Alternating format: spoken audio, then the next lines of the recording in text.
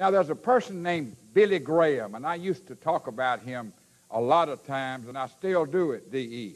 But he was a, one of our most dedicated ministers in 25 or 30 years ago. In fact, he came to the DE meeting way back when we had 10 or 15 people there. He was at a seminar out at the airport.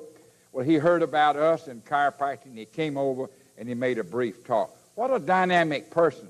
But his history is that he wasn't a Christian in the beginning. He had to come to that conclusion, come to that understanding. And I'm not talking about your religion, I'm talking about being dedicated to the principles of what we're about, and then we'll have a magic ingredient that made Graham successful in Christianity, that can make you successful in chiropractic.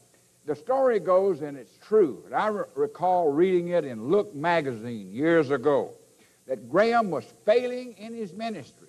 He was a great talker, and everyone looked upon him as a levator. He was going to bring out this whole message to Christianity.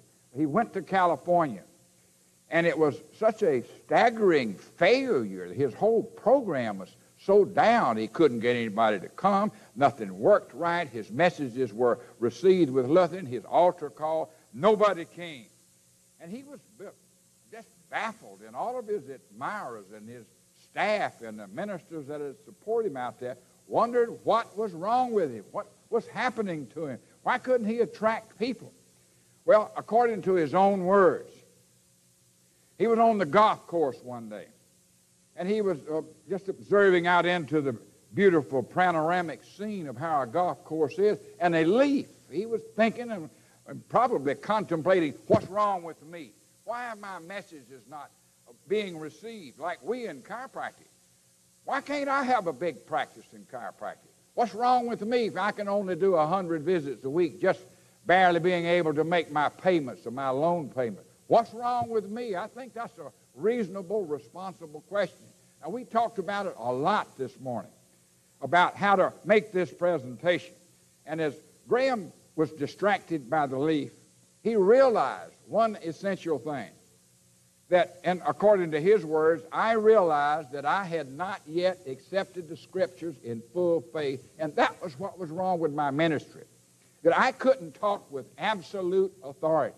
Now, we spent a great deal of time this morning, in fact, three hours, talking about that one subject how to accept chiropractic in full faith and come forth with dynamic, positive answers that had assurance from within each individual. Every individual has this potential, has this quality to do it. That's what changed Billy Graham's outlook on his ministry. That's what saved his ministry because he finally came to grips with the acceptance of total, total authority for his concepts and his beliefs, that which he was projecting forward as the Christian faith. That doesn't say that there aren't others who have a differing version, in his own self, in his own being, in your own self, in your own being, you don't talk from doubt. You talk from absolute authority. And you learn how to say those basic words.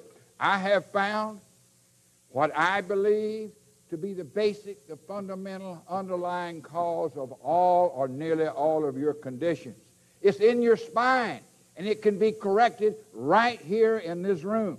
Those are magic words if you've got the power just to say it. I have found what I believe to be the basic, the fundamental, the underlying cause of all or nearly all of your health problems.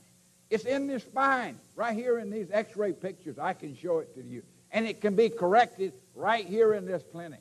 Now suppose you are telling these people with absolute authority as Bruce Valentine, and I was talking to the story about Bruce Valentine selling the vacuum sweeper, a man that couldn't look, look at you in the eyes, but he had a magic in his ability to sell a vacuum sweeper, an inanimate object, and a nearly in low class, into low class neighborhoods, would come in and ask people, and then the quality of the voice, when they would say, Oh, no, I don't want you to come in, but there was something about his voice that I want to show you a machine that will save you years and years of suffering and deprivation.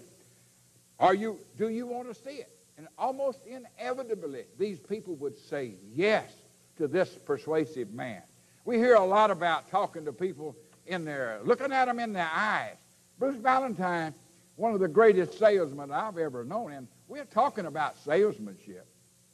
We're speaking about a chiropractor selling himself and selling his chiropractic services with the feeling, the transmission of him to the people, the authority that he speaks about, the authority that he that is his understanding. When he comes out and starts explaining chiropractic, the words must ring true. They can't just be simple words. You can just memorize it, start babbling it out. Anybody can do that. This is the separation between the big people, the successful people that endure in chiropractic. I have found, and you say it with total authority, what I believe to be the basic, the fundamental, the underlying cause of all or nearly all of your health problems. It's in your spine.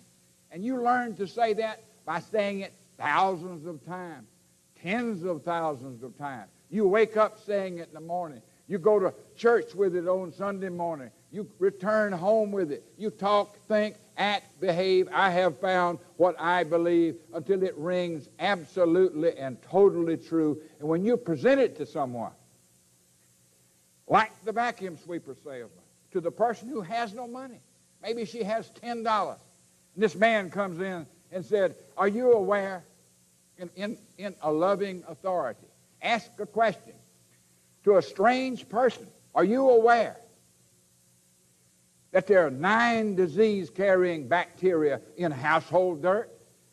Can you imagine the quality of a person's voice whom he doesn't know?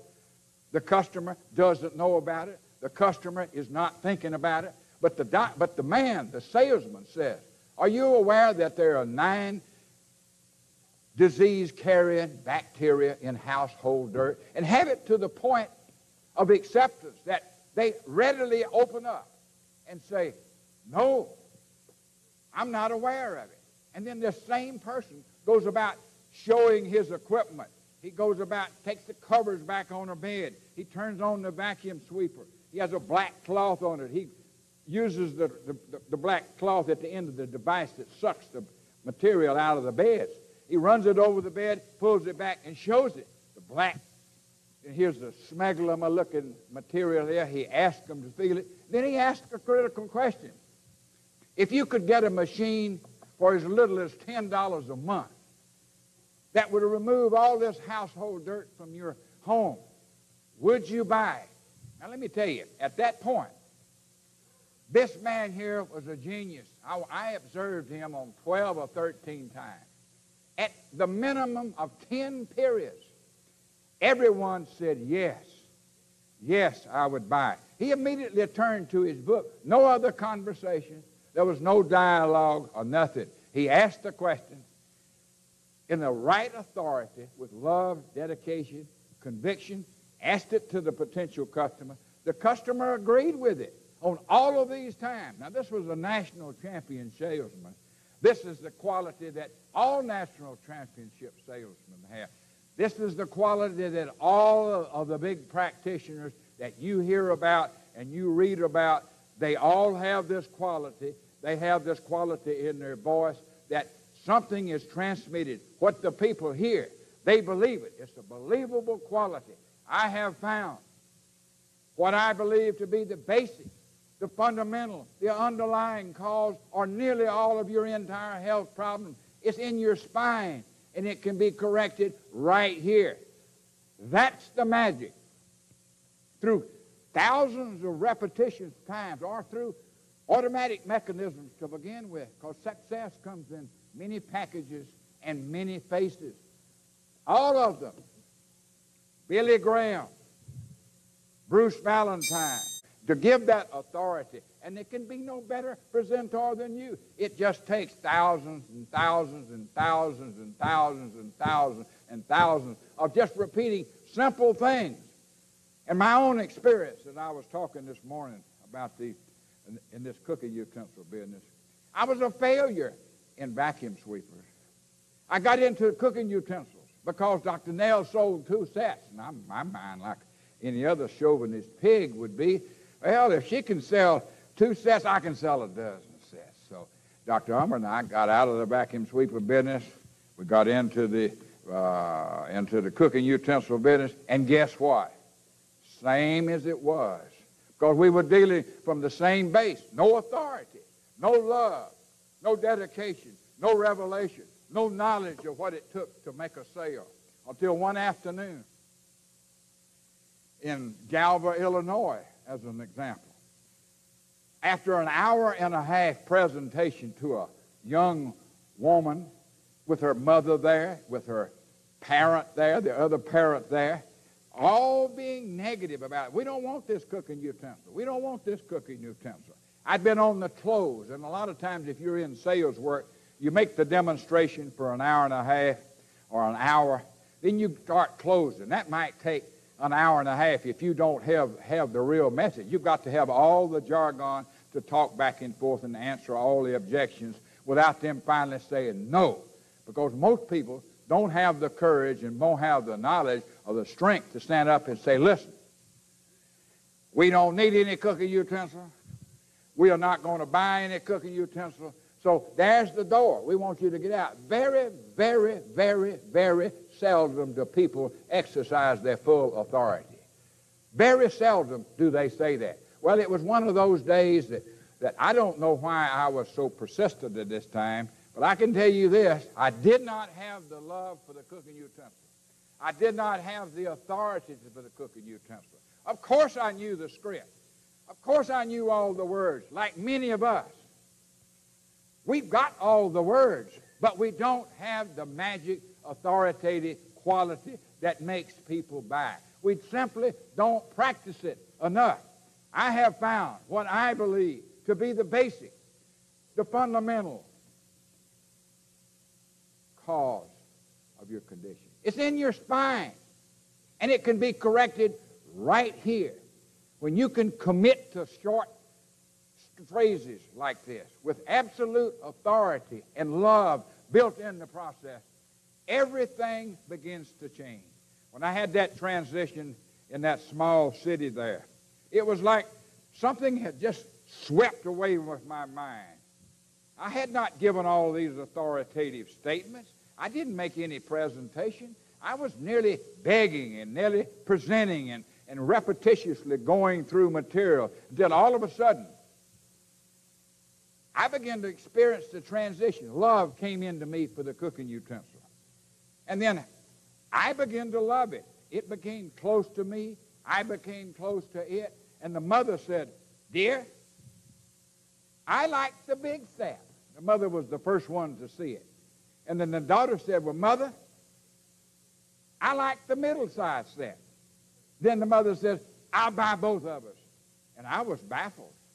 I was blown away by the whole conversation. I began to write up the order. And I began to take this routine, and I got, I remember I wiped out all the other extraneous things that I said. I, your name is so and so and so and so. You're at this address. You're going to pay, she said, $25 for each set. That was 225. That's $50. I put the pencil in the right place. I put it on the pad. I turned it. She picked it up as it rolled down. I turned to the mark I had on the paper. I said, press hard. That's three copies. Well, that was the beginning of two years of uh, total dedication. Two years to what I might say is in, in terms of self-hypnosis. I couldn't think left or right.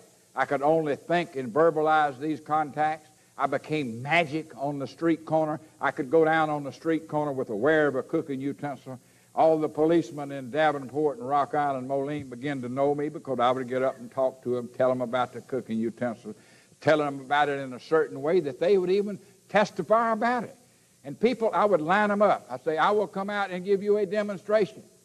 I said it with absolute love, consideration, and authority, and not thousands of people would be uh, open to us, maybe 15 or 20 in a day. We'd pick out the five best prospects that we thought, and nearly every person that we would present with to get in this right attitude, this right mood, this right persuasiveness, that we did it. And I had someone to drive me around because I noticed that I was driving and making decisions. I could feel this thing drift away from me. When I would begin talking extraneously about something else, I could feel this the strength of the authority loosing itself in me. Then we left this particular town that I mentioned a while ago. I, someone, Bob Carver, I believe, asked me, said, What happened? So we heard these people change for an hour and a half. They were objecting to you. Now, all of a sudden, everybody starts buying and everybody starts being happy and everybody wants to know can they help you make the distribution of that. I said, Why did it happen? I, said, I can't answer that question. I said, Just take me to the next house down by the river in Moline, Illinois. Well, we went to this uh, desperate looking house. It backed up to the Mississippi River. We couldn't get anybody to answer at the front door. We noticed it was a dilapidated house. And the guy said, We're not going to sell a, set of cooking utensil here. My dynamic, positive mind, I said, We'll see. I had no doubt of thinking. I only was a transmitter. I was an instrument of this thing. We found the woman out back. Maybe she was 30, 32 or 33 years old. I made the presentation. She said, I am not buying any cooking utensils. I am not building any hope chests. I said it with absolute authority. I said, I don't, I'm, I'm, not concerned about whether you buy it or not. Let me present it to you because I'm working my way through the Palmer School in Davenport, Iowa. She said, okay. I will let you present it to me, but I will not buy. We went through the house. There was a drunk person lying on the couch, and she made a few comments about him.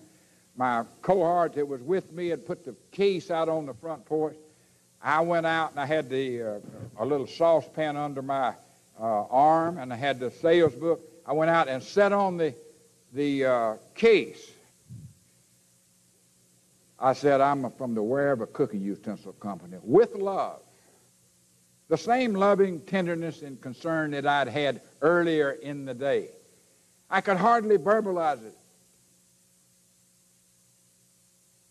And the girl says, I told you I didn't want anything. But your presentation and the beauty of this cooking utensil unit here brings back the memories of myself. I want a set of Wear-Ever cooking utensils. I'm 33 years old. I'm certainly not building a hope chest, but I want to buy these utensils, these cooking utensils. I pulled out the pad. I said, Your name is Mary Cole Smith. She said, Yes, so and so. This is 1369 Barclay Circle. She said, Yes. I said, Now you want the small set, the middle size set, or the large set? She said, I want the middle size set at $126. I said, Do you have the down payment? How much is it? I said, $20. She said, Yes, I'll pay the $20. I wrote the contract out with her name, put the cross up there, put the pen in her hand. She picked it up and said, I really love and appreciate you for coming out here. I have always wanted a set of cooking utensils. Since that day, and all of the encounters that I had, being led around, being pushed and nudged into doing materialistic things, but with this dynamic power available that I discovered accidentally inside of myself, that Bruce Valentine brought to the table in selling uh, vacuum sweepers, that all of the salesmen, all of the great surgeons, all of the great doctors, all of the great activities, all of the great presenters anywhere have somehow found this magic touch through persistent effort, persistent effort, persistent effort, trying, attempting, trying and failing, attempting, persistency, persistency, persistency, accepting this thing. If you want to be really successful, that's the road that you take. You must have a made up mind on chiropractic, all of its theories and all of its principles. It isn't like making up a mind and you know it's absolutely true. It's just constantly repeating, repeating, practice, practice, practice, practice, practice, practice, practice. Constantly on your sales plan. And then, like magic, at an off moment, you'll begin to understand it.